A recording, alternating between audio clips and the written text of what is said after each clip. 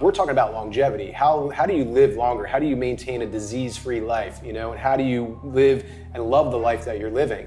It's spending more time, quality time. It's doing less, and it's not always doing more a flexibility session feels better than sometimes ever doing anything, like where you just move your body and like stretch it out and open it up. Welcome to this week's Escape Your Limits podcast. Our guest today suffered a traumatic brain injury that caused him to find his passion in holistic health and fitness.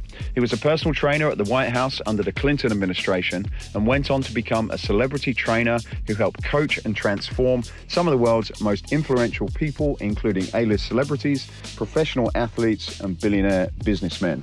Recently, he released a book called 22 Ways to Optimal Health and Fitness. And today we got together to discuss New Year fitness goals for busy people, where we cover a number of subjects to help you create and sustain a healthy lifestyle, including what is the most important first step to creating a workout program you're able to stick to, why HIIT training may be one of the least effective ways to exercise for the average person and what is the most effective dose of exercise to get into great shape? And why are we doing way more than what we need? So please welcome the trainer to the stars, Mr. Steve Jordan. Mr. Steve Jordan. Yes. Thank you for joining us. Uh, this is my final one of uh, final one of the year, but first one in the, in the new year. So I'm, I'm excited you're kicking this whole thing off. Oh, thank you. I'll save the best for last and start off the new year with a bla- with a splash, right? So yeah. thank you so much for having me. It's a pleasure and an honor to be here. So how's your fitness been this year? You, uh, you know, you kept to your. I've, I've, been reading your book, and I'm very, very impressed with this. Thank you. Um, are you, are you a, a, a, gleaming example of, of what you've written here? Then? Oh you well, say? you know me. I think a little on a personal level. That's a, absolutely. Uh, and for your audience, yes, I practice what I preach, and I've been doing it for a long time. Lifestyle, uh, actually, the principles and ways in the book are ways that I found personally and professionally that I know work. Uh, they worked 25 years ago when I got into the business, and they'll work 25 years from today. They're timeless and ageless, and uh, so yeah, I've been keeping up with my fitness. And but I do you know I had a, a son uh, six months ago, and it has been more challenging. People definitely told me, you know, a, a child will will will turn your life upside down and didn't believe it or couldn't fathom it, and it certainly did. It's been the most challenging six months of my life, but also the most enjoyable and pleasurable. And I'm so grateful and just love that guy so much. So, mm-hmm. yeah, it's been challenging, but I, I, get it in when I can and I do my best, which is, you know, is so important in, the, in this business, you know, in, in fitness to just do your best. You don't have to be perfect, doesn't have to always look like your best workout, just doing your best. And uh, you kind of take it from there. You zig and zag. Yeah, I, I, thought as it's the start of a new year, I, I um, reading your book, and I was, and we're going to sort of pull some chapters out to talk about. But I, I thought I wanted to kind of frame this as being the sort of New Year fitness goals for busy people, because okay. you, have mentioned, uh, you know, you just had a, a child recently, and and people have got businesses, and, and it's very easy to, I, I, think anyway, and a lot of people I talk to, it's very easy to kind of um, get into a plan when you don't have a lot going on in your life.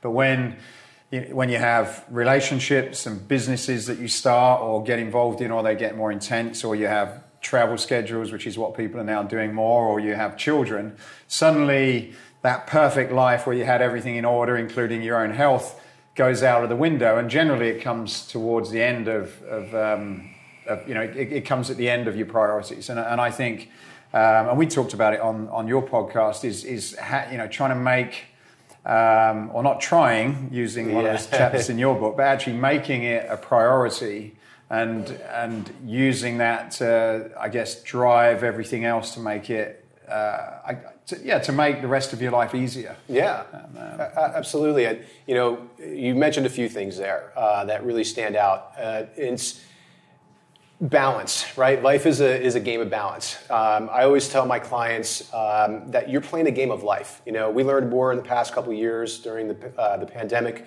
uh, that health is your wealth and you should prioritize it. It's, it should be the number one priority in your life because without that you have nothing else. So you know prioritizing is important and you should put it up there at the top right? So health first family um, it's almost like that adage, you know, the, the saying where you put your oxygen mask on you first rather than, you know, putting it on somebody else where people serve everybody else, but they don't do anything for themselves.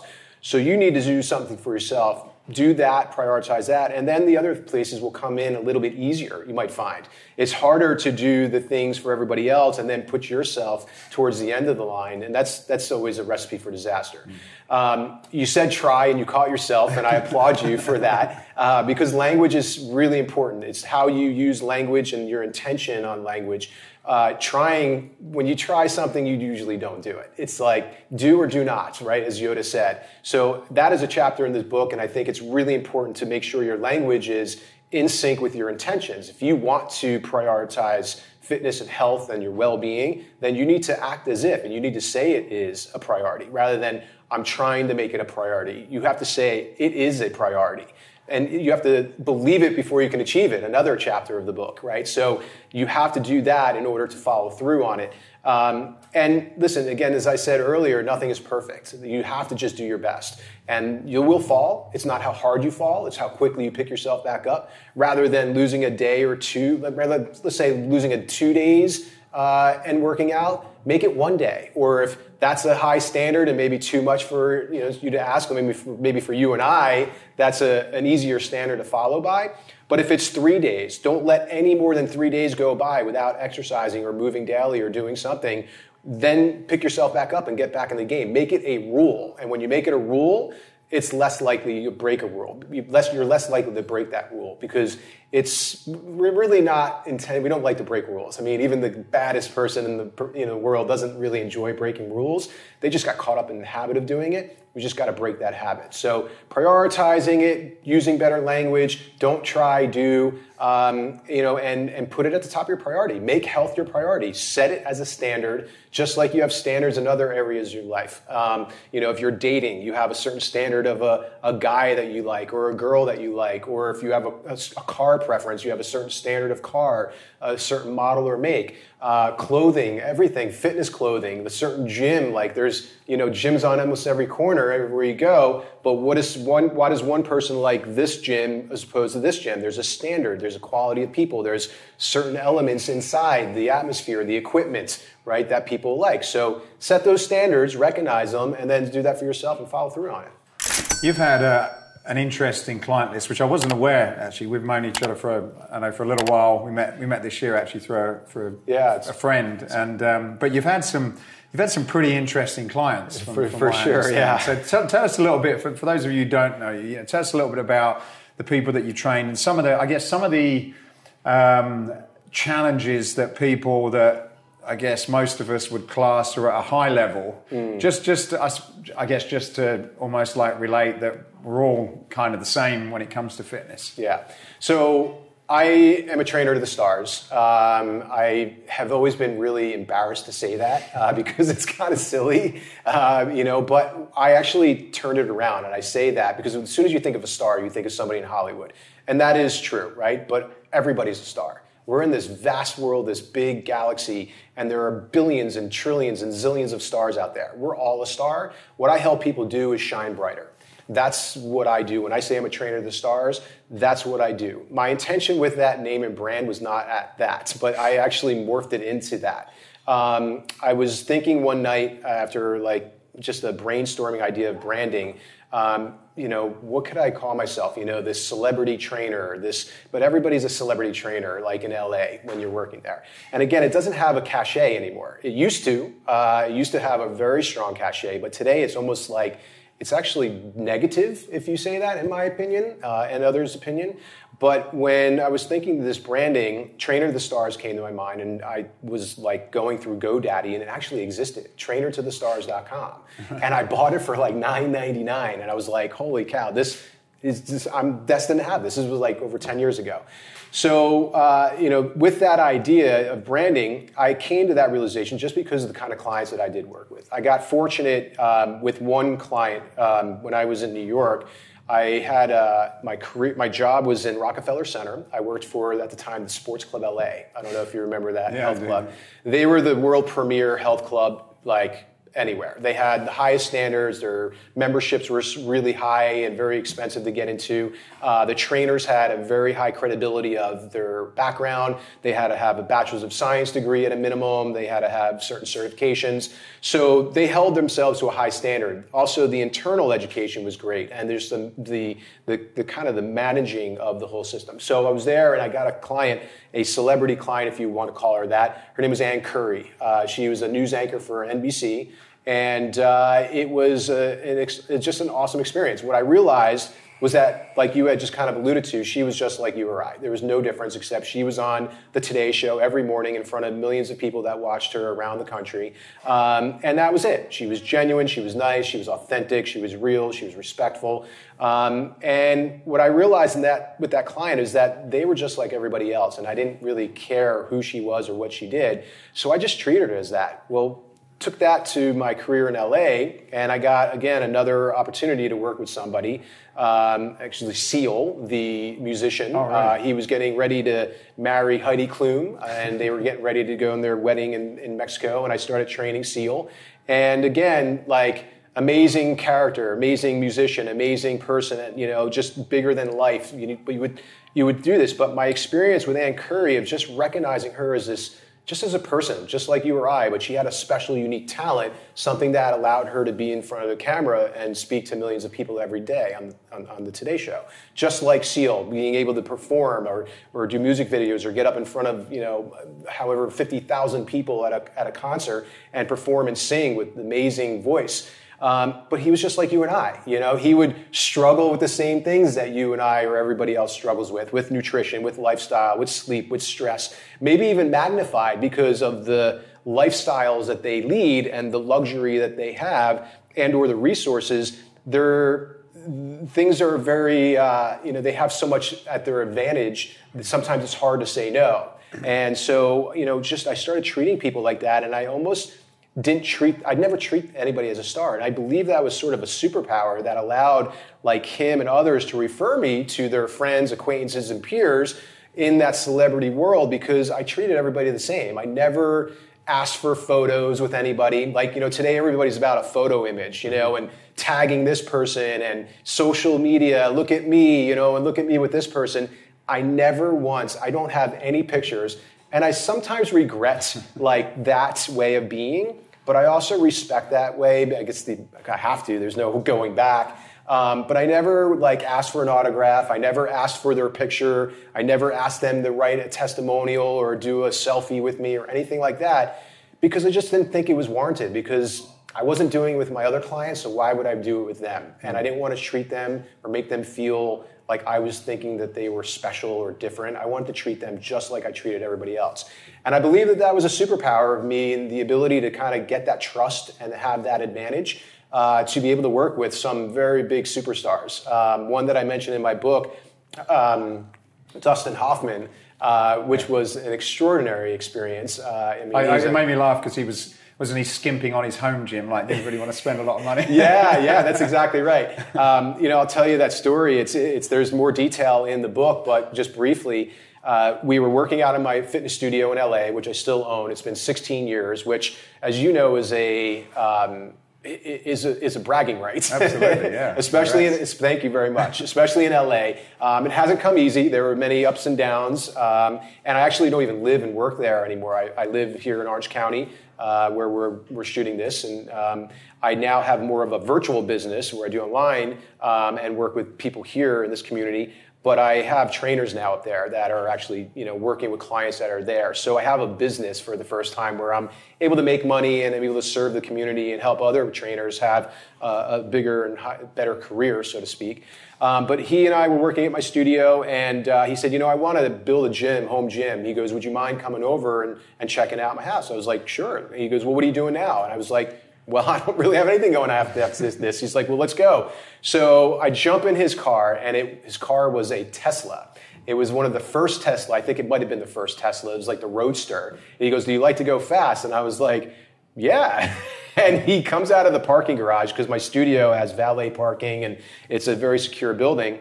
And we come out and he says, "Hold on," and he steps on the gas, and I got pinned back to the to the seat, and I was like, "Oh my god!" I felt like I was on a roller coaster ride. That thing went from zero to sixty in like three seconds. It was a two seater.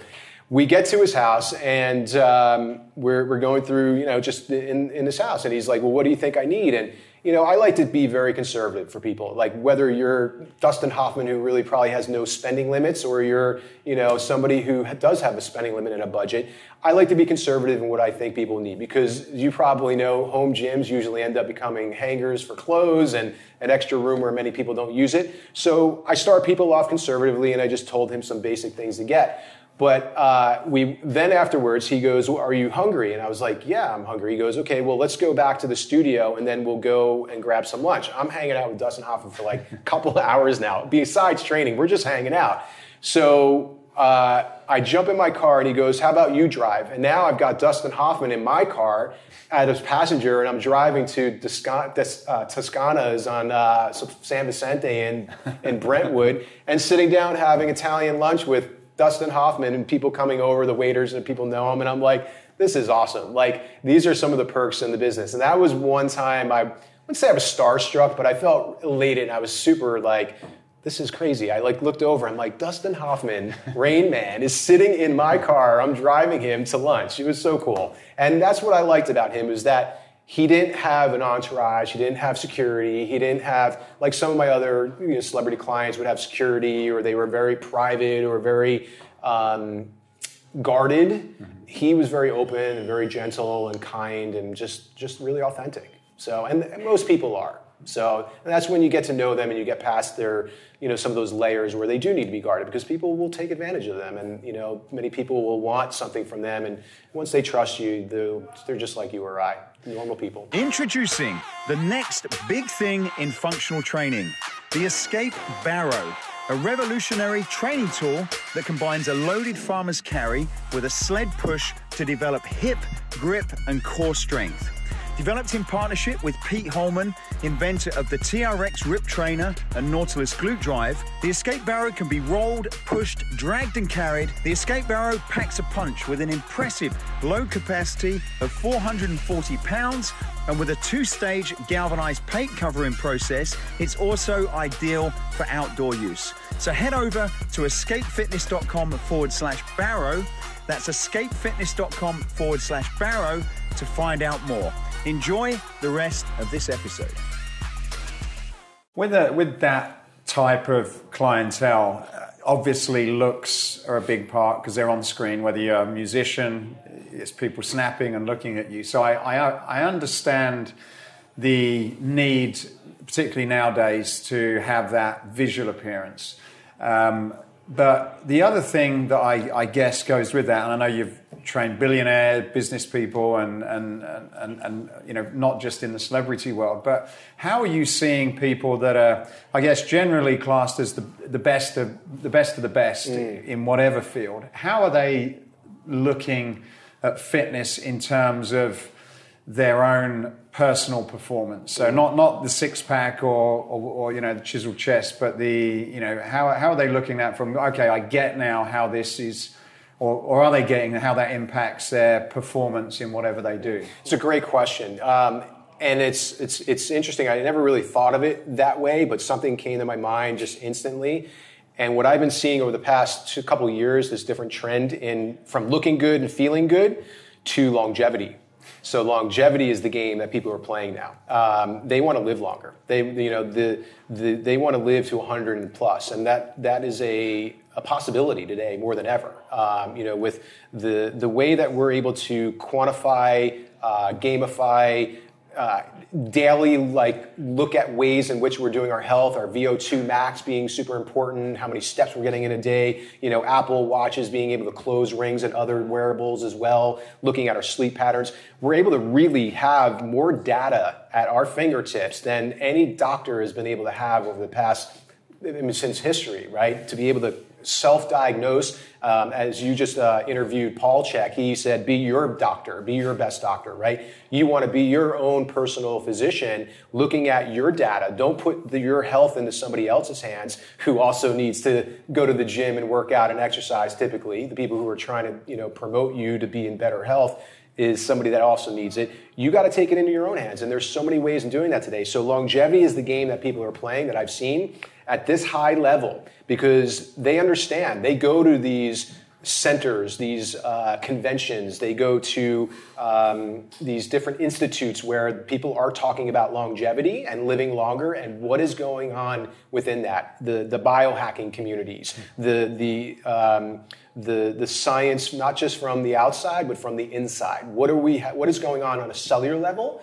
Uh, what we can't see is really what will manifest our destiny, right? On the outside, we can see somebody who looks really good, but you know as well as I do, Matt, people who sometimes look really good on the outside are not good on the inside. Mm. Uh, and sometimes, you know, there's a, there's a, you can't judge a book by its cover. Uh, many times there's people who are really, I want to say sick, but they're not well on the inside, even though they may look good on the outside. We were talking about it yesterday with the lady from Levels, um, and they were saying exactly that. You know, like there, there could be a lot of things that are going on in terms of what you're eating and that, that you may think you're doing for the sake of good health and aesthetics when really actually you're you know you're you're creating a lot of big issues and and and, and it's I think it's I don't know what what your thoughts are but certainly when I came into the business sort of 25 30 years ago it was very much aesthetic and marketing, anybody that was in the business, that was really the goal. That was the image. That was the story. It was it was fitness. And I, I, don't know whether it's just because of the people I'm talking to, or whether there is this general movement that you know that has shifted. And and and yeah, the physical part is is important. Mm-hmm. But I, I, there seems to be coming more of an awareness of all of these other things, some of which you're, you're actually talking about in here, and and um, I, I don't think that's necessarily got down to the consumer level, but certainly people that are in business are starting to rethink and reposition themselves. What is it actually that I need to be offering now? Yeah, and that's exactly right. You know, it's typically the, the, it's, it's a trickle down effect, right? So the people with means of resources, again, people who are going to these conventions, you and I who are at the, the top of our field, we're the we're the influencers, if you want to call it influencers, and I, I use that word very loosely. I, I, sometimes have challenges with that, but um, you know, we're the ones that are getting that information and disseminating it and allowing the masses to to get that right. So.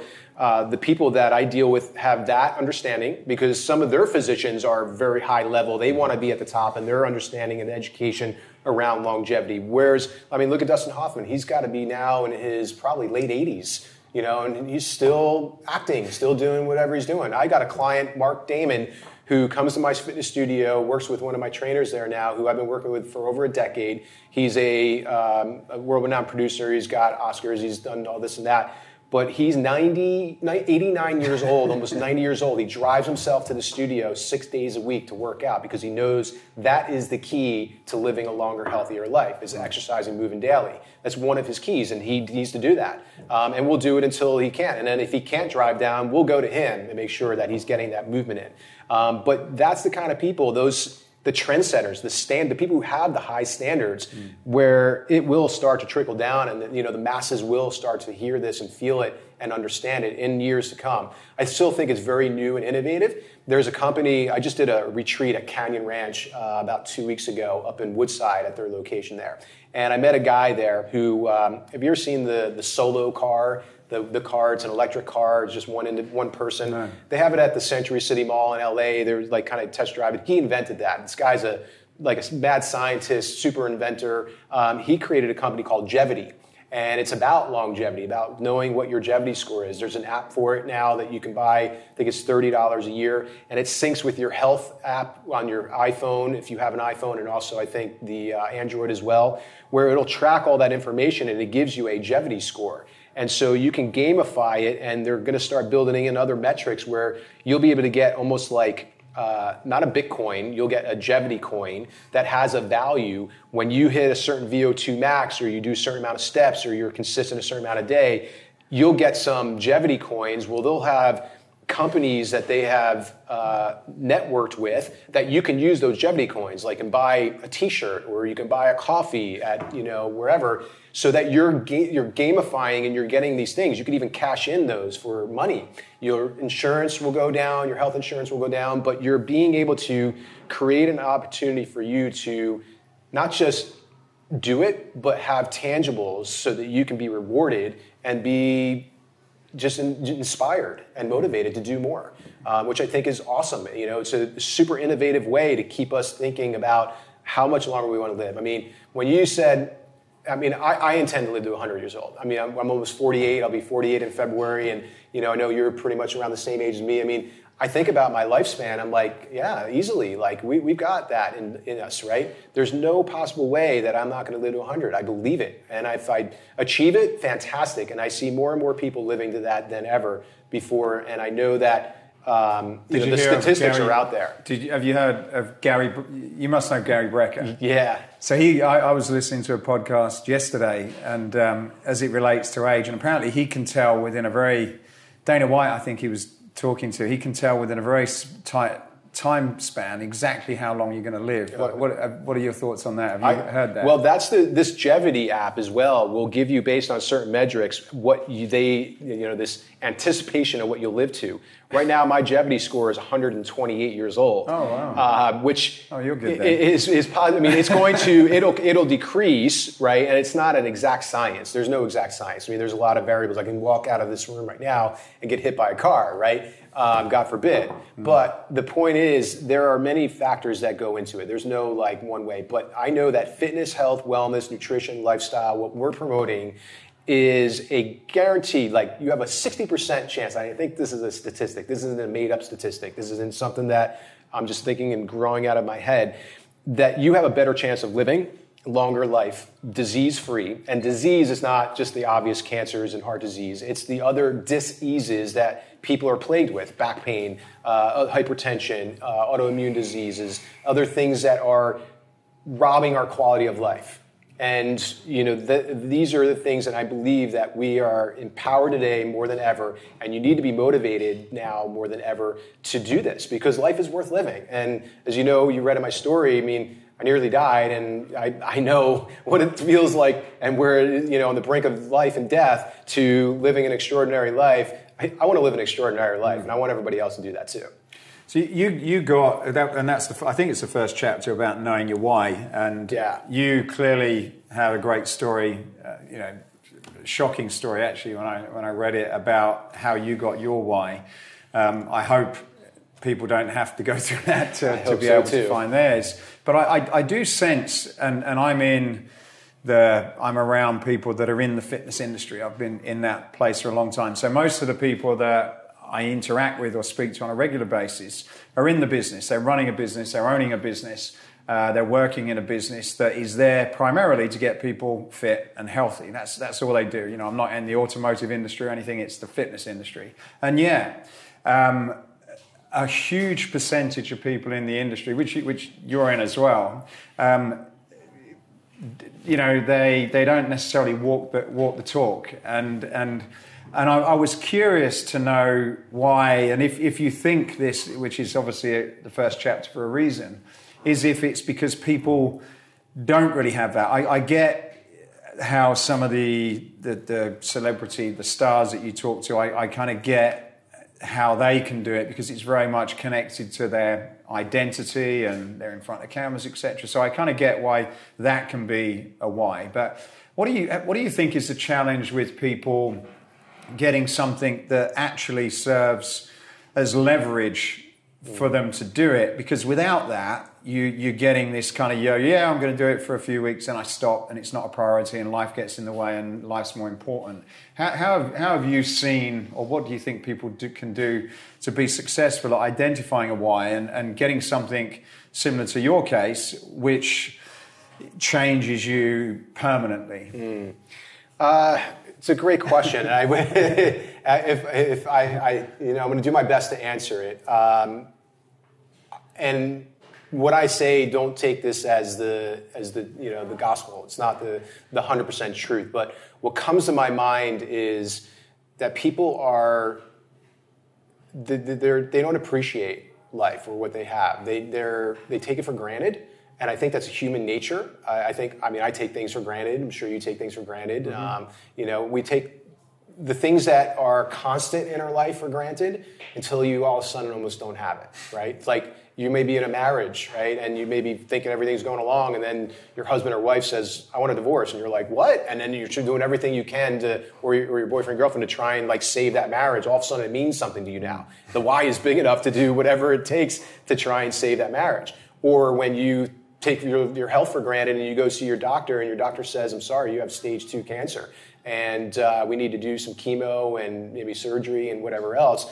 Uh, otherwise, this is going to turn stage three, four, and you're done.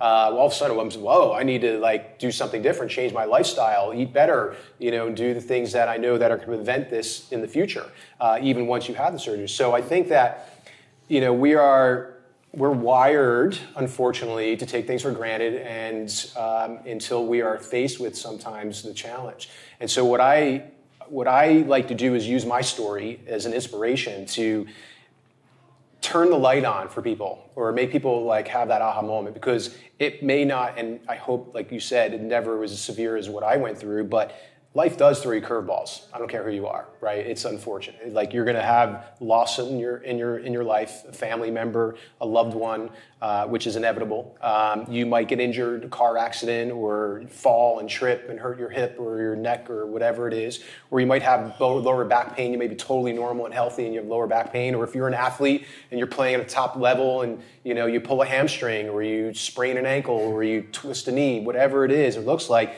these events are going to throw you off your off your derail you, throw you off your uh, out of your balance. But when you have a why and you stay consistent with that, and you're understanding that this is a long game, not a short game. That's also, I think, another reason people are are intrinsically motivated by short-term gains and, and wants and needs. Right? We are we're immediate. We want the immediate attention, but we are we're bad at like the long term, right? It's even like savings, right? Why do I need to put five dollars away a day, right?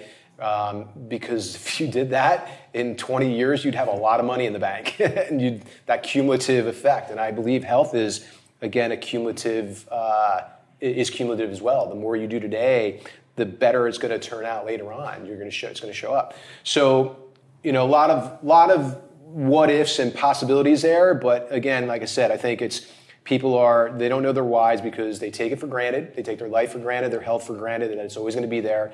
Um, they are more you know short short-sighted. They want short mediated like attention gains and, and feelings rather than a long-term benefit. And then i think it's really just they never they just they're not really they don't work hard.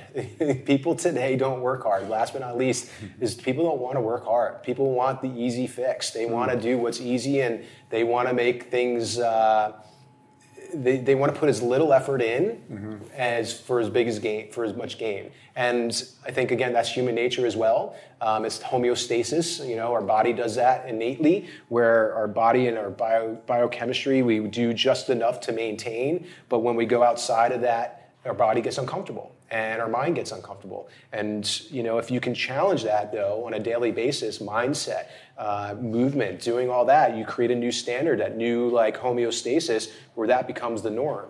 And that becomes the, the sweet spot where you need to dwell in. Mm-hmm. And sometimes you can go higher, sometimes you can go a little lower, but you want to maintain this. It's like like the ocean. Tides rise, tides fall, but you want to stay somewhere right in the middle. I think you, you hit on something there, and I just made a note now. There was, there was a guy I interviewed a couple of years ago called Jerzy Gregorek. He was a Polish Olympic weightlifting champion. And uh, he wrote a book, and, and essentially it was kind of stoic philosophy, but it, it, his statement was hard decisions, easy life, easy decisions, hard life. And, mm. and I, I spend a lot of time thinking about that. And in fact, I was thinking about it just a couple of days ago in the shower about cold plunge. And mm-hmm. um, there's a gym not far from here. They've got a, a great cold tank, and only a few people use it because mm-hmm. it's painful and it's uncomfortable. Yeah. And a lot of times it's easier just to skip, do the sauna, and, and, and leave. And but what, what I what I think with the cold showers, the cold plunge is outside of what it probably does for your body, the benefits of that. I, I, I think in general we have easy lives. Not not to say life is easy because it's it's definitely not. But I think in general everything's kind of convenient and we've got everything online. And if we don't really want to put ourselves in an uncomfortable position, we don't have to. You know, mm-hmm. everything's kind of there and, and provided for us. And and I suppose pushing yourself into a position where you're doing hard things. Like I always used to, if I hadn't worked out for a few days, I used to start with legs because it was the most toughest thing to do. Or you know, go go for a run. But I think trying to train your mind to do hard things and just accept that that's good for you mm. kind of helps to, to to sort of get you into the um, the, the mindset of um, of of, of that that's normal because exercise, however you look at it, it's not it, it can hurt, you know. Even though you, you get like probably you and my, myself are conditioned to really enjoy it, but for most people it's quite painful, and I think that's that seems to be one of the things. It's like yeah, it's meant to be hard, mm-hmm. and you, it's not meant to be easy. Yeah, and and a pill that you take is easy is probably not going to be the, the best thing for you. But I don't know whether no, that's what you I, think. It, it, resonates with me 100%, and I think you're right on. I love that quote, and I think it's a, a spot on. You're, you're right. It is mindset, and that's you know what my book sort of uh, touches on. It's all this is all mindset, right? So when people ask me like, how did you change this person, Lisa Kudrow? How did you change Ashley Greene? You know, what did you do for them? How did you? Do? I did exactly what I'm doing for them as I do for you right? There's no difference. What they had is a bigger why. Their purpose was bigger because they had a movie, they had a TV show, they had whatever they needed that was a big why. If they didn't do it, they were going to be fired, or there was somebody else like knocking on the producer's door and saying, "Hey, look at me! I want to get this job, and I'm, you know, just as good or whatever." So there's a there's a lot of competition in that space, but people like they just don't like you said, their mindset, their why isn't big enough. And if you can train yourself by doing that, and listen, it's all relative. I, I cold plunges. I uh, the one Canyon Ranch that I do the retreat at, they have a cold plunge It's 49 degrees. I did seven minutes, seven and a half minutes. Was like, holy cow! I thought I, I like could barely even get out. I was nervous. Like when I got out, I was like, like oh, I was like slow motion getting out of it. But the first time I did it, it was 30 seconds, and I was like out of the water, like I'm never doing that again. But then I like trained myself to get back in, and it's all up in here. Mm-hmm. Everything that happens that you do or don't do happens between your ears or doesn't happen between your ears. I believe it's all a mindset. You have to change your mindset and start small, realistic. Be like if you can't if you can't run today, walk. Right? If you can't run a mile, run a half a mile. If you can't lift weights, use your body weight. If you can't swim well then row. Whatever it looks like just change it up. There's so much variety and so many things out there. I mean your company provides a lot of great equipment a lot of resources a lot of variety of that. So you but know, they're useless unless you decide to go and pick Absolutely. it up. yeah. And there's one thing that you said that i want to comment on and i think it's really important again going back to language some of that what we first talked about you know painful right? So there understanding psychology we we move away from pain and we move towards pleasure it's a simple like psychology of, of every human being, all the 8 billion people on this planet. We move away from pain and we move towards pleasure. So if we can take pain away from exercise and disassociate it, we can then have a be- we can we can benefit humanity. We can benefit yourself. If you say it's challenging or it, it is uh, you know it's uncomfortable, that's better suited, better well stated for you to manage that because being uncomfortable, you can get comfortable, right? You could put a jacket on if it's if it's cold out. You you could take a jacket off if it's too warm out. Uh, if the uh, exercise is uncomfortable or if it's the position isn't good, well then you can change it. You can move. You can change position. You could do a whole different exercise. And there's tons of things out there, variety of things you could do. Um, and if it's challenging, you just have to keep it challenging enough, not to the point of where the next day you can't walk or move but where you feel like if maybe you when you stretch or you do move and you kind of like you know you look for things you're like oh yeah i feel this little tightness my body feels stronger i move and i just you you do that. Mm. you don't want to create pain in exercise and you want to by all means disassociate that word with exercise movement well-being altogether and you'll you'll be more than halfway onto your you know living a great life.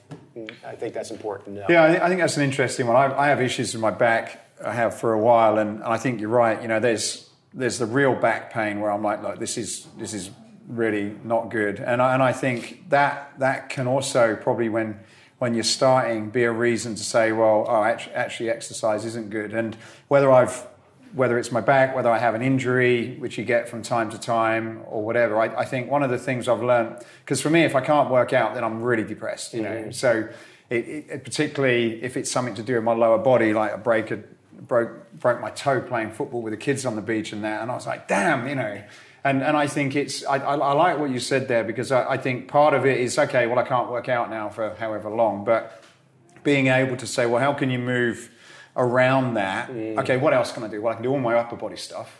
Great. Okay, what else can I do for lower body? So I, I think it's I think that philosophy I like because you've got to just try and continuous there's going to be something that works for you isn't there i think? And and, and, and it's it's not okay because i can't do that now that exercise bucket is closed. It's like no well what are those other things that can get you into the habit of continuing to do something? Mm-hmm. there's always an option. There's always an option. And uh, as you know my story like i found options. I've worked pe- with people as, as you know obviously the celebrities and professional athletes but i've also worked with people are handicapped like with literally coming to my studio in a wheelchair. Uh, this one guy I worked with, his name is Sean. He was paralyzed from the waist down from a hockey accident. He just played. He played in high school, and then he was playing like in a, a men's league, and he got checked into the board, broke his neck, and paralyzed from the waist down.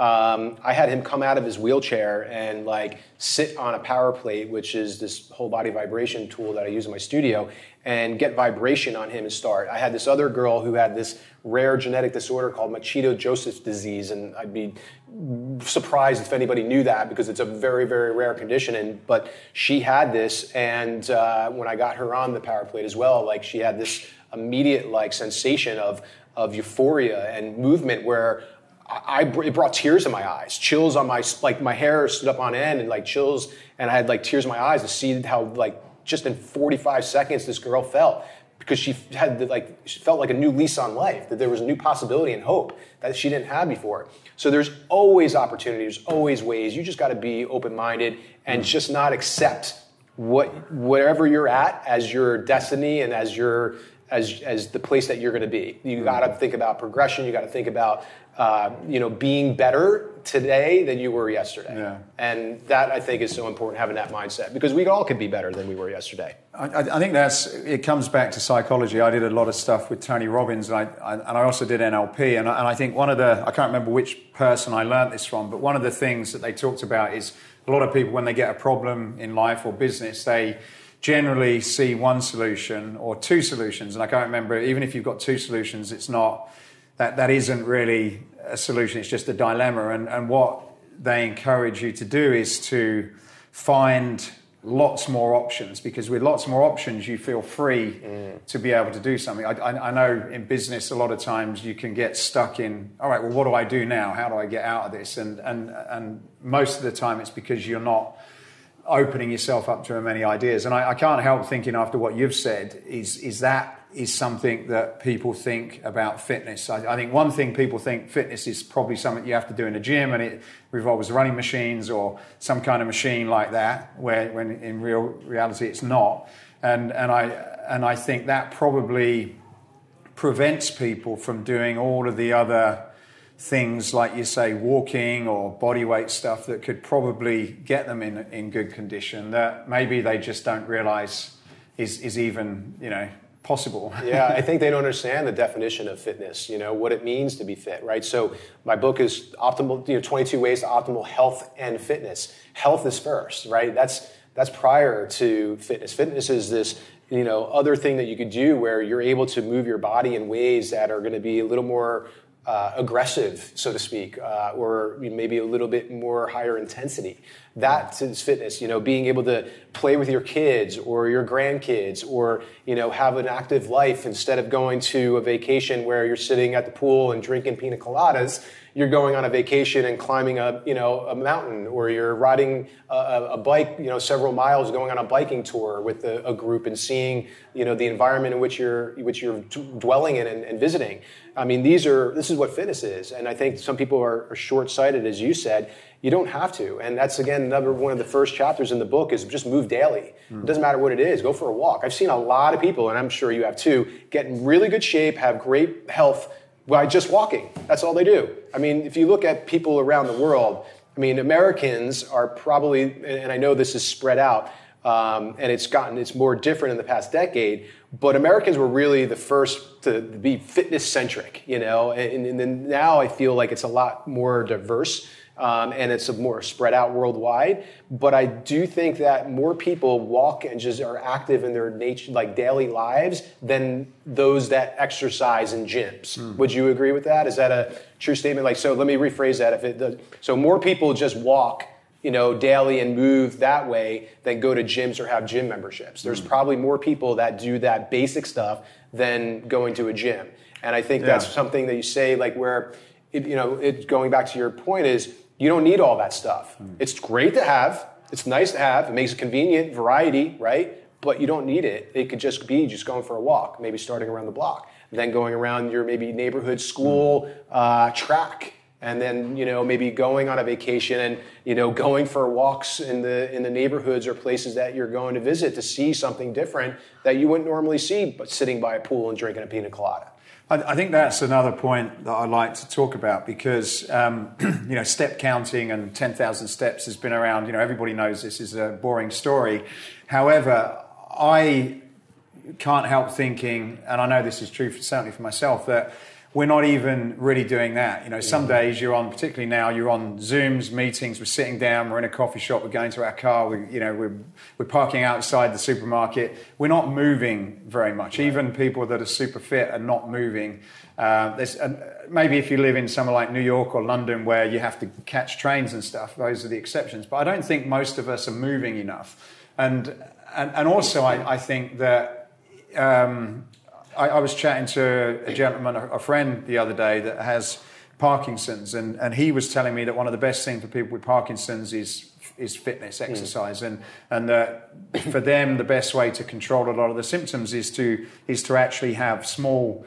Uh, sort of like bouts of fitness throughout the day. So probably three times of small things. So you could walk, you could maybe mm. you know lift something for a, for a few minutes. And and and I think when you part part of I guess the issue is is how we look at it. It's almost like comparing it to food. You've got one meal a day where you have to eat everything in that in that one meal, and and then that's it. Whereas maybe, uh, and I don't, you're you're the expert, and it's a question to you really. But do you think that probably going for a, a, decent walk in the morning and a decent walk in the evening before bed after you've had some, some something, and then maybe having something very simple like a, a sandbag um, that maybe in the morning you just do some basic movement. You know, you do some squats, you do a few deadlifts, and you, and you kind of, you know, maybe you just do three sets of 10 three times a day, which takes you no time, with a nice long walk. Do, do you think that if somebody wasn't really doing a lot, or used to go to the gym and don't do it, if, if they incorporated something as simple as that into their life consistently, you know, four or five times a week, do you think that would, along with getting their diet in control. Do you believe that would would sort of you know really change their health and and, and wellness? Yeah, I don't think, Matt. I know right. for sure. I, I, absolutely know without a shadow of a doubt that works. Right. And I think that um, I believe, if I'm not mistaken, there are statistics and there's there's research showing that that short bouts of exercise is more beneficial than one long bout of exercise. So people might think I got to go to the gym for an hour. Well, it would be better if you did four 15 minute workouts a day or movements. That's not called a workout because that people are like, I got to change in my workout clothes every day. Like 15 minutes of movement in a day is better than doing one hour because in that one hour you know you're not consistent you're going to be kind of taking breaks in between but yeah there's some research that shows that that short term like those benefits that you just talked about, the short-term uh, movement, morning, evening, afternoon, before before you move throughout the day, before you know after lunch or after dinner, that will be beneficial to your health, absolutely, without a shadow of a doubt. Yeah, and and just as just as I've I've got one of these Oura rings and sleeps in your book as well as a chapter. Yeah being important, but it's, it's almost like you, you think you sleep better than what you do. Yeah. And I certainly know that I feel I probably work out more than I do, although I do track it pretty well. But I think most people think, oh yeah, I, you know, I go to the gym and I'm in there for an hour. Yeah, but how long within that hour you're actually working out? And then, and then what are you doing for the rest of the day? Because there are certain days of the week where I don't go to the gym, and if I'm if it's not a weekend when I'm out with the, the children, I look at my I look at my sort of movement and I freak out. I'm like, what? what I've just I've done nothing, mm. and and I I it, it, sort of got me thinking. I I've got a you know, small gym at home and stuff. And um, because of my back, I tighten up. So there's a few, when I went to see Paul, there's a few ball exercises that I do with a ball and a kettlebell. Just loosens me up. Um, and then once I start loosening up, I then start feeling as though I want to do a little bit more. And, mm-hmm. and it, it, you just, it just kind of wakes you up and gives you like this shot of, of energy. And I, and I suppose it's, it, it made me think, do we, do we reinvent what fitness should be in people's lives, you know, and are, is it because of what we think of having to go to a place and do it? Is that limiting getting more people involved in, in you know, some other form of sort of movement and exercise? Yeah, I think you're spot on, and I think you know the shift, if there is a shift in that direction, is going to take a while. Um, but I still think there's going to be the purists who want that one hour gym time, and I love that as well. I'm a yeah. member to a gym, and I love putting in that hour, the hard work. But I like to also do those little short, frequent things throughout the day. And we learned over the past three years during the pandemic that fitness can be done anywhere. I mean, literally. And we've been doing that. I mean, as you know, my business, I moved down here, I had a gym. I still have my gym in LA, but I was doing it only there. Now I'm doing virtually. I have clients in Maine, New York, Florida, um, where I'm training them virtually and giving them something, whether it's a half an hour, an hour, on a daily basis where they're feeling great and they're able to get the gains and benefits. I've never met them face to face. You know, I have a virtual class that I have that I teach people. I have about seven people in the class that show up or don't. I record it and send it to them, and they do it and track it over time. It's amazing. We can do things today. We have so much more at our fingertips than we ever had before. I don't think we should be so provincial and narrow minded to be able to think that we've got to go to the gym, we got to add extra time into our day um, to do these things because time, as you know, is our biggest asset. We don't have a lot of it anymore. We got to spend more time with family, which we saw in the pandemic as well. People got really appreciative of spending more time with family. We have now hybrid work days where people are going to the office for two or three days and then they're able to stay home and do work from home. And it's because these large companies like Apple and, and, and Google and they see the value that people have. They're long, the, the, one, their health, but also their happiness right? They're, they're, people are happier. They're better when you're when you're with your tribe, with your family, with your friends, and you're able to spend more time rather than sitting in a car. Even if you're in a car listening to a podcast or you know like we're offering here, it's still time away from you could be with family and loved ones and people that you you care about and care about you and get that you know personal touch. Um, so absolutely, I think it's super important for people to understand that exercise and having good health and fitness and wellness is not about going to a gym. It's also, you know, having those lifestyle choices. And I can't keyword there lifestyle and use the two, doing those things on a daily basis, being consistent, whether it's 15 minutes is better than nothing. I think that's one thing I want to mention too, where I'm sure you've seen this. People, if they don't have the hour or the half hour, they just would rather not do it. Yeah. Right? Myself included yeah. sometimes. It's yeah. like, right, but you can get a great, like, 15 minutes, like you feel energized. I was just talking to the gal when I walked in here. She was asking about my book and this and that, you know, and I was telling her kind of briefly what it was about. And, you know, I said about energy, this and that, building energy. She said, What? That's exactly what I need. And she's like, You know, I eat all this bad food around the holidays and I put on some extra weight and this and that, and I have no energy. And I'm like, Exactly. It's all of, like fitness, health, well being, this book, everything that we're talking about is about having better energy and more quality energy. Because mm-hmm. when you have more energy, you have more life. Life is energy. If you break down the definition of life, it's energy. And you don't have yeah. energy, you have no life, literally. So have better energy. If you can do those little short things throughout your day, you're going to increase your energy because even if you're sitting down, even if you're standing up on a Zoom call or sitting on a ball, that's just, a little bit. You got to get moving a little bit more. Just get out of your comfort zone, as we talked about earlier. Do things that are going to make you kind of shake it up. Well, in your book, you've got a chapter which I think which is called Schedule It. Um, and that is also, it links to the previous thing, which is, oh, have I got enough time to do it? And I know more recently when I've got a lot going on, I'll, I'll work and then maybe someone's, I'm meeting someone for, for dinner. And I like to, when I go to the gym, I love the gym and I, I you know, spend an hour or so working out because I just get into my own zone, and then I'll probably spend an hour. I'll do the, the, the sauna and the plunge and everything. But that's quite a, quite a time commitment, um, and I do miss it if I can't do it. But there are times where I've I've got a much shorter time, and I need to get you know get showered and everything else like that. And one of the things that I've um, I, I've sort of challenged myself to think about is well, even if I've got ten minutes, what can I do? And sometimes it, it can be a combination as, as I'm busy and I'm also tired And if those two things come together, it's like, okay, well, I'm busy, and that's my excuse because I actually feel tired and I don't really want to go in there. So you create a little bit of a reason not not to do it.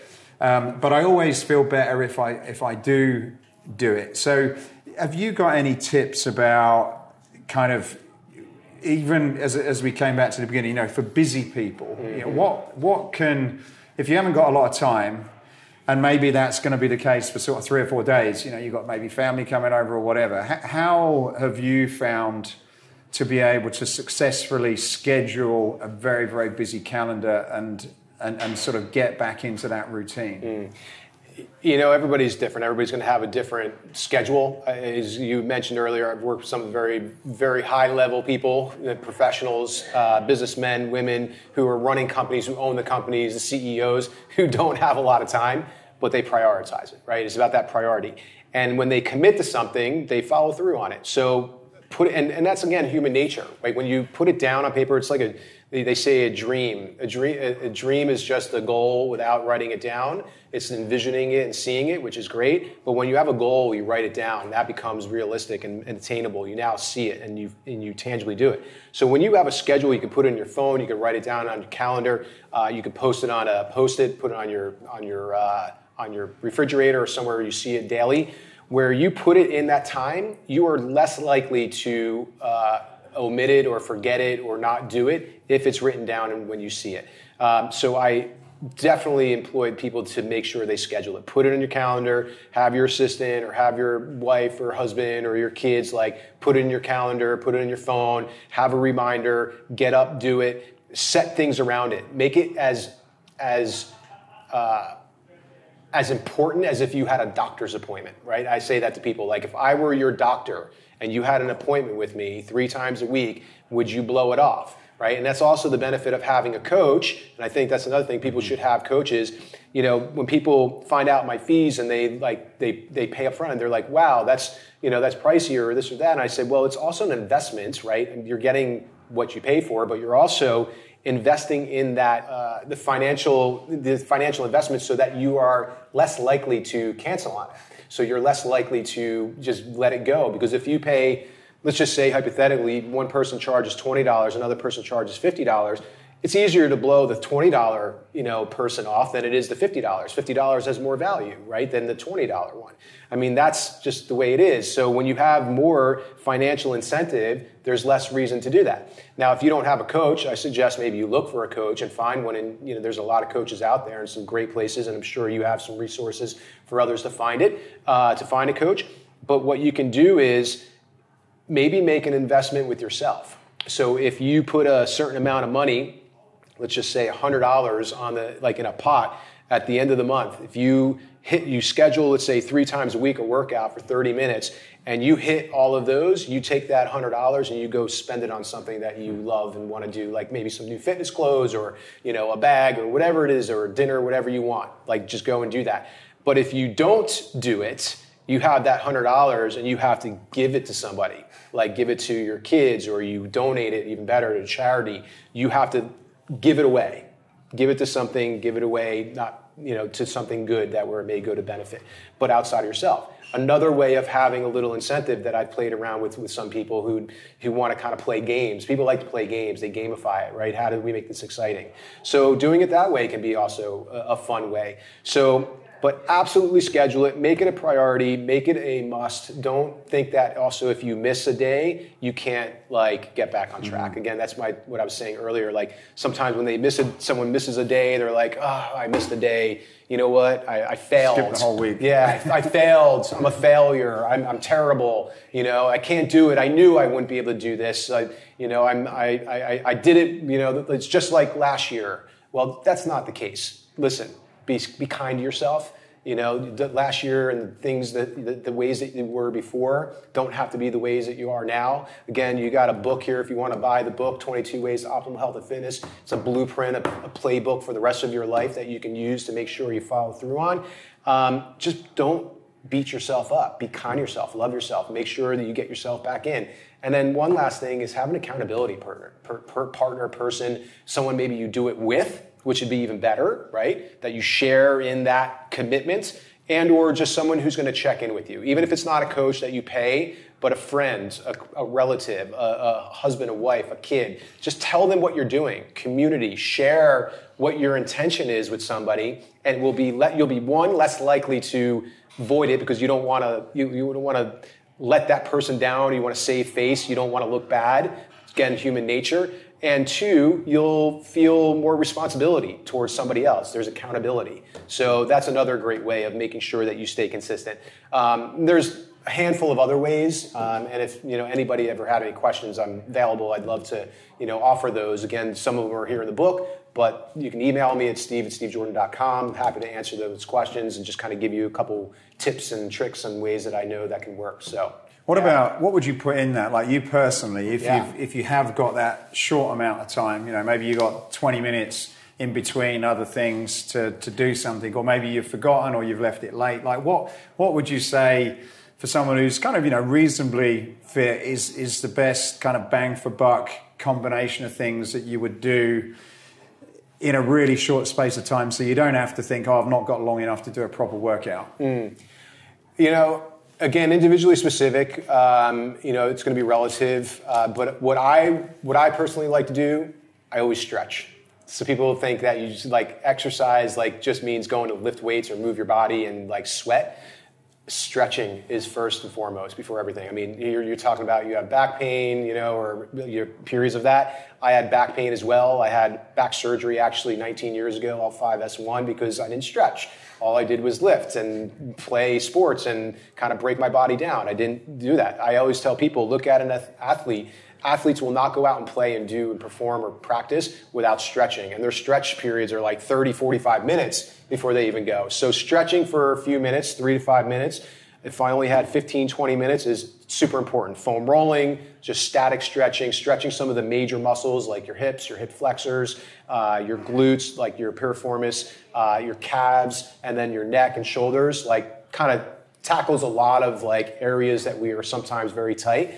And then I activate muscles. So when muscles are certain muscles are tight, other muscles are going to be weakened. So I turn other muscles on. So I turn my glutes on by doing bridges or clams or uh, hydrants, and then I do other types of core exercises, opposite arm, leg, bird dogs, planks, side planks. Turn on these muscles that I want to be active when I start moving.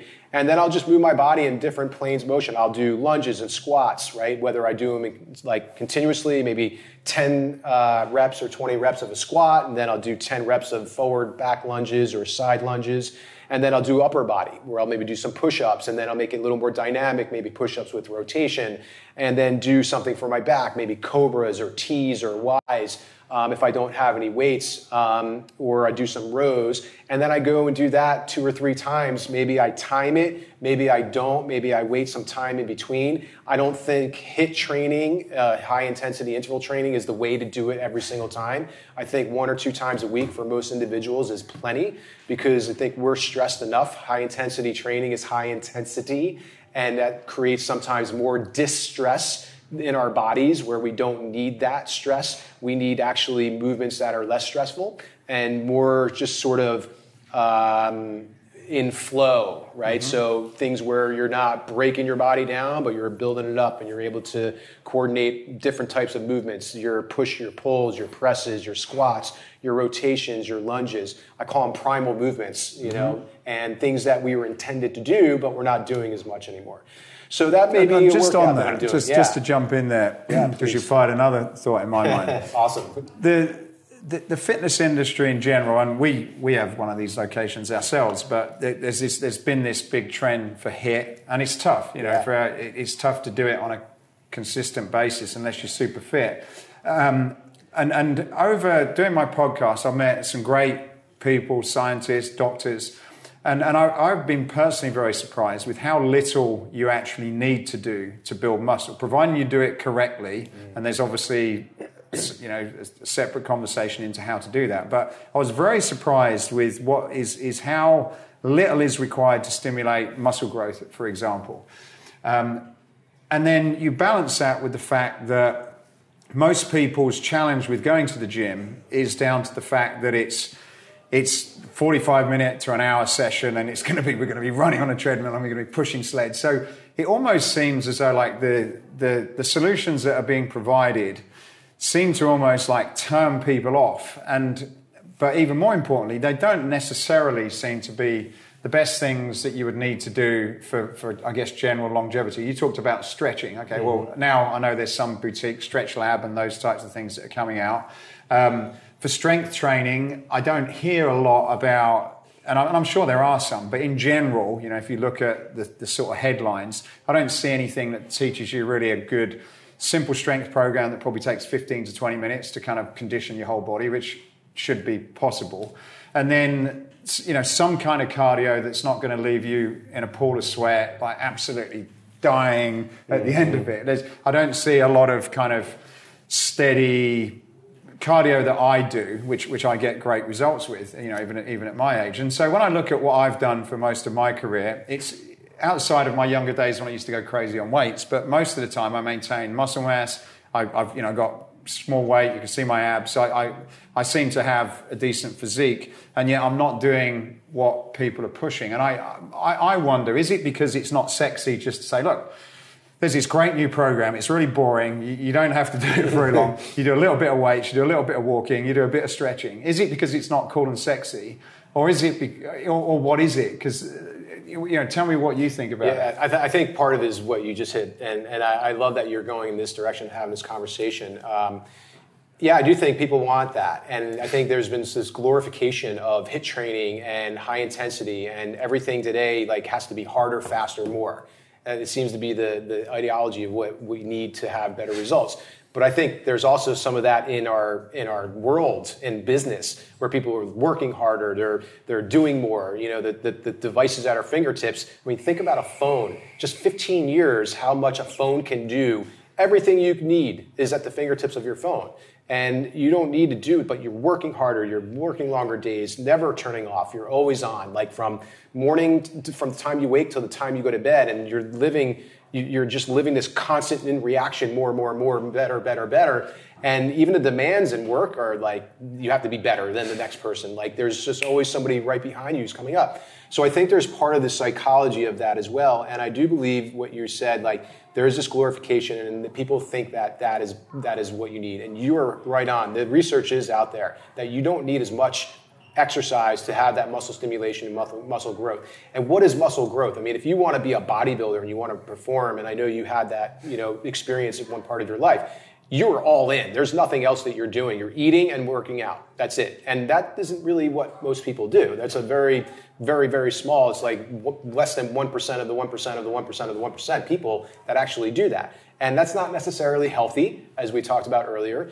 Um, we're talking about longevity. How, how do you live longer? How do you maintain a disease-free life? You know, and how do you live and love the life that you're living? It's spending more time, quality time, and it's doing less, and it's not always doing more. A flexibility session feels better than sometimes ever doing anything, like where you just move your body and like stretch it out and open it up. I've had clients come into my sessions before, and they're like high intensity guys and girls where they're like, this, this, and that. I'm like, how are you feeling today? I always check into somebody. I'm like, how are you feeling today? Stress. I got I'm like, okay, well, we're gonna warm up, we're gonna stretch. And then I try and like move the stretch from five minutes to 10 minutes to 50. They're like, I wanna start working out. And I'm like, listen, you trust me? Am I your coach? Or are you, or, or, or you're your like coach? And they're like, I know, but I wanna work out, I wanna work out. And I'm like, just trust me. And then I just like ease them in, and then we're doing 15, 20 minutes of stretching, and they're like, they're like, I needed that. I feel much better. Like, and then we go into the workout and we have we have less time working out, more time opening up and stretching and feeling better and just releasing stress, releasing your body. So, you know, to kind of go to your point there, um, yes, you don't need as much as we think we need. Yeah. Um, you know, even there's one point as you were talking about that I didn't mention that I'd like to before we, before I stopped talking on this topic is rest do you know? I'm going to ask you, ask you the question: Do you grow when you're working out, or do you grow when you're at rest? yeah, absolutely. Yeah, yeah you grow when you're at rest, right? And most people know that, but in case you don't, it's okay if you don't. You grow at rest. You have to rest more to be able to grow. So if you're constantly, and that's why I look at sometimes these HIIT training classes, you know, people are doing Barry's, they don't change. They actually gain weight hmm. because their body's in this catabolic state where they're not eating enough their body's not nutrient enough, they're stressed out, their adrenal glands are stressed and they're producing too much cortisol, and they're actually gaining weight rather than losing weight, but they're working out with this, you know, seven days a week, high intensity training at Barry's boot camp. Like, what's your problem? Like, what's the disconnect here? And it's, you know, again, not making you wrong, not making you feel bad, but there is a disconnect. You're not resting enough because your level of stress in your life, just the example I told you, when clients come in, I'm like, no, you're too stressed. We got to de stress you. You know, let's take that stress out and let's move. Let's be in flow. Mm. Life is better when you're in flow rather than push, push, push, push. You know, what's the um, Newton's law? For every action, there's an opposite and equal reaction. Sometimes we push too hard, it's going to get pushed back, and your body's going to push back and resist you, and you won't see any changes, no. whether it's weight loss or weight or, or, or muscle tone or definition um, or optimal health. Mm. You'll actually reverse that and have less health and less ability to do things you like if you're doing that kind of training all the time. That's why I say one to two times a week. I'm not sure what you believe. Well, Dorian, I, I, interviewed Dorian Yates. Oh who, man, you know, Dorian Yates who he is. Class, I, classic bodybuilder. I said to Dorian, I said, so we were talking about his training routine, and I'm, I'm going to get this clip cut up again. But I said, look, you know, legs. He's like his legs are enormous. I said, so how many times a week are you training your legs? And taught me through the routine. So he, he taught me through his routine, which is on the podcast if anyone wants to listen to it, and it's once a week. I said, once a week to get into that condition. He said, there's no way that you can recover from that type of workout if you're mm. doing it any more than once a week. Now, obviously, he's totally the extreme, you know, like one of the sort of biggest bodybuilders of yeah. all time, you know, a hardcore one.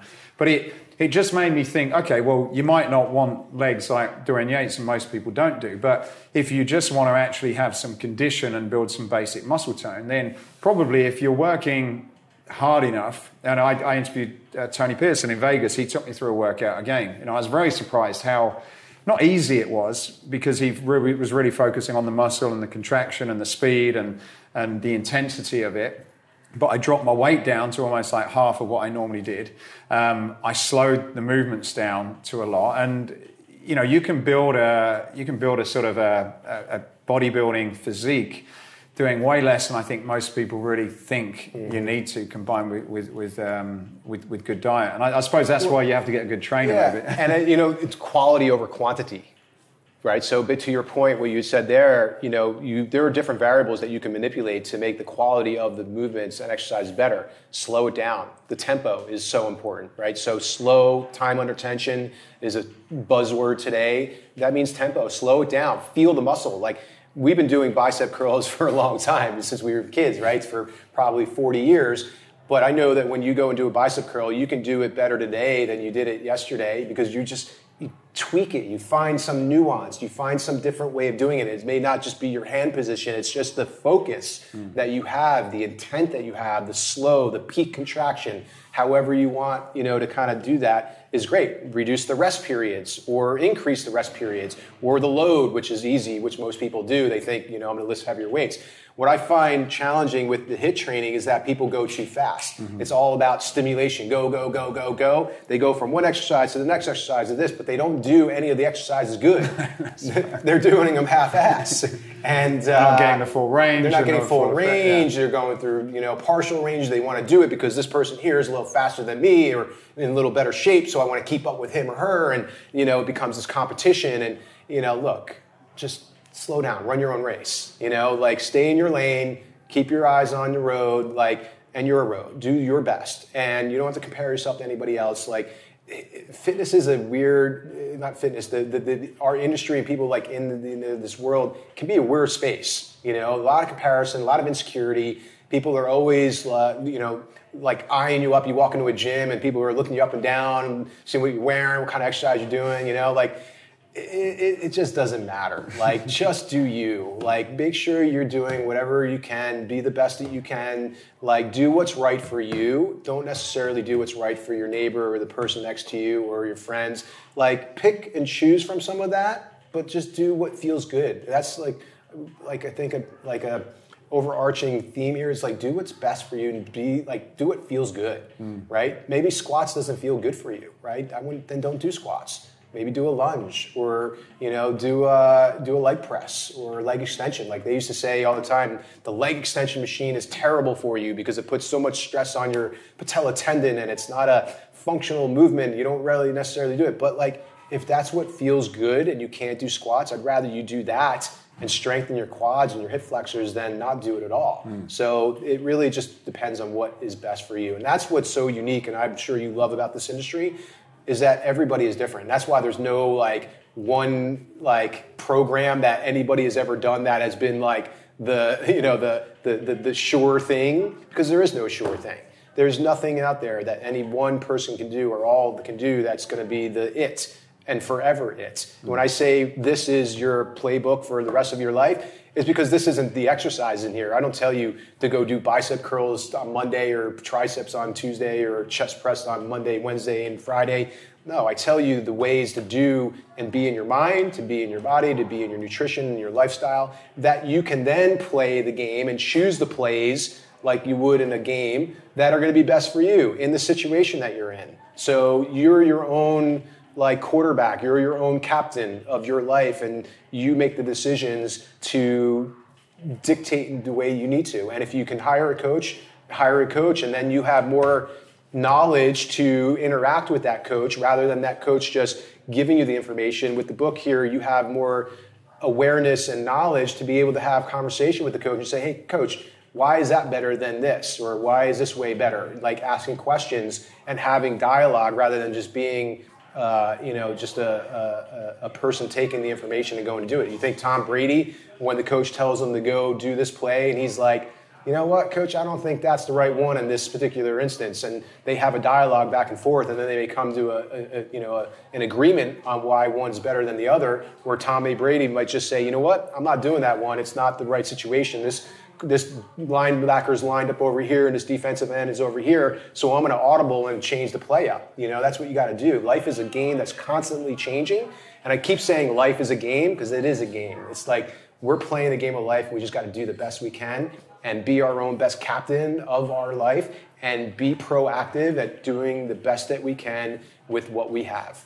Where can people get the book then, Steve? Uh, on my website, stevejordan.com. And you could also get it on Amazon. I have it on there on the uh, Audibles, just the ebook as well. Uh, but you can get a hard version, um, autograph it for you um, if you buy it on my website, stevejordan.com.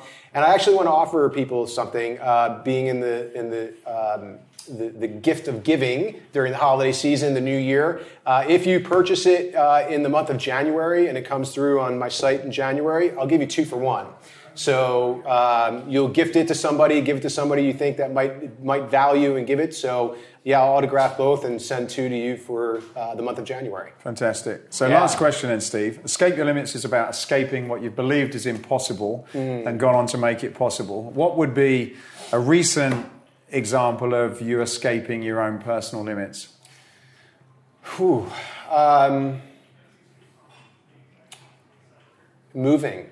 Moving down here to Orange County from Los Angeles, where I was residing for almost 19 years and built a, an amazing life, business, um, you know, great community of friends and peers. Um, moving is tough, and I moved down here with very little very little. I mean, I mean, I, I, was able to, you know, I had a couple contacts, and you know, it was just, you know, it was daunting. But I wanted to create a better quality of life for myself and for my family, and uh, create a family and have a family. Where Los Angeles and the way that I was living there wasn't conducive to that. Um, we're now I live in a neighborhood and uh, where we have kids in the neighborhood, and we have live on a block now where there's uh, six newborns within the past year. So my son is going to have friends just in the neighborhood, a few doors down next door. So you know that was a big daunting sight because it was a comfort zone. You know, like the comforts and. Um, you know, during COVID, I saw you know things shifting and changing. Um, just personally, my own perspective on life and what I wanted out of it. Uh, the, the, business was changing. I didn't know whether I was going to be able to keep my gym or not. Um, so I started to do virtual, which was a you know, a blessing in disguise. And um, you know, I came down here with just um, you know, just the just the just the opportunity and the possibility of living a better quality of life. And uh, past, it's going to be two years. January um, will be, you know, and I. I'm just grateful, you know. So that was uh, escaping my limits, you know, limiting myself to being in LA and having to have a business there and living in that, you know, space to have uh, also a business that was at a standard that I wanted it at, right? So LA, I moved to LA from New York because LA is the mecca, you know, considered the mecca of, you know, health and fitness, you know, where a lot of things happen and people are listening to those that live in LA.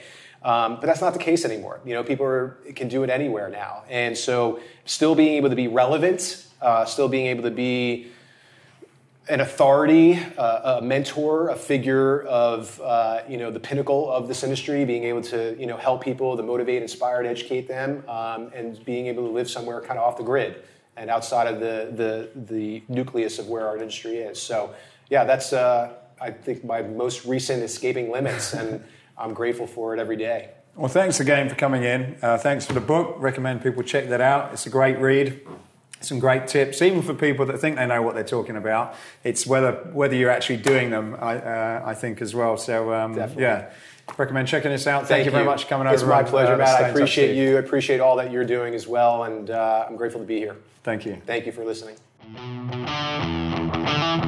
Hey, I hope you enjoyed this podcast. If you did, then please go over to iTunes and subscribe to the Escape Your Limits podcast. Leave a review, leave a comment. It really would help us a lot to continue to keep these going.